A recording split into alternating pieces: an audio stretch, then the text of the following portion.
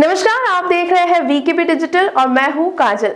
राज्य के उप मुख्यमंत्री देवेंद्र फडणवीस की ओर से अजीत पवार को दिए गए जवाब के बाद बारी थी महाराष्ट्र प्रदेश भाजपा अध्यक्ष चंद्रशेखर बावनकुले की देवेंद्र फडणवीस ने जहाँ चेहरे पर मुस्कान लिए अजीत दादा पवार के आरोपों का जवाब दिया तो वहीं चंद्रशेखर बावनकुले पवार के आरोपों पर भड़क उठे।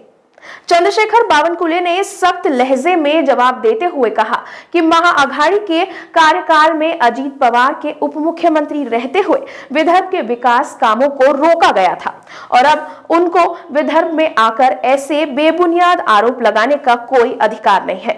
उद्धव ठाकरेजी बद्दल मी कालही सांगितलं, खरं तर महाविकास आघाडीच्या नेत्यांना विदर्भाच्या अधिवेशनामध्ये येऊन या ठिकाणी जे वाचाळवीर बोलतायत ना यांना काही अधिकार नाही आहे नागपूर कराराप्रमाणे अधिवेशन घ्यायचं नाही. अडीच वर्ष अधिवेशन तीन वर्ष अधिवेशन झालं नाही. मराठवाडा विदर्भाच्या विकासाबद्दल विचार केला तर अजित पवार असे म्हटले होते जोपर्यंत बारा आमदार राज्यपाल देत नाही तोपर्यंत विदर्भ आणि मराठवाड्याचा विकास करणार नाही. ते आता बोलताय सभागृहामध्ये यांना अधिकार आहे. जो मुख्यमंत्री विदर्भाचं अधिवेशन विदर्भाचा विकास थांबवला आणि महाराष्ट्राच्या मागच्या बजेटमध्ये विदर्भ आणि मराठवाड्यावर संपूर्ण अन्याय सरकारने केला. त्यामुळे या अधिवेशनात बोलण्याचा अधिकार यांना नाही आहे यांनी जर कर्तृत्व केलं असतं तर आम्ही त्याचे आभार मानले असते. पण आज मुख्यमंत्री असताना यायचं नाही.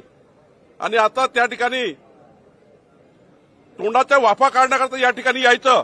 आणि सांगायचं आम्ही विदर्भावर आणि मराठवाड्याच्या विकासाचे त्या ठिकाणी महामेरू आहोत खरं तर देवेंद्रजी एकनाथजी शिंदेच्या नेतृत्वामध्ये आज या अधिवेशनामध्ये विदर्भाला प्रचंड न्याय मिळणार आहे.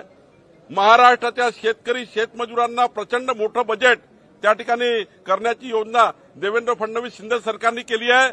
आणि पहिल्यांदा या महाराष्ट्राला विदर्भ, मराठवाडा, उत्तर महाराष्ट्र, पश्चिम महाराष्ट्राच्या दुष्काळी भागामध्ये हे शिंदे फडणवीस सरकार काम करत आहे. त्याचं प्रतिबिंब हे ग्रामपंचायतमध्ये आपल्याला मिळते ग्रामपंचायत तुम्हाला दिसत आहे आज पाचशे तेरा ग्रामपंचायती भाजपाच्या एक हजारपैकी आल्या. आणि एकशे चाळीस ग्रामपंचायती शिंदेईच्या आल्या आहेत.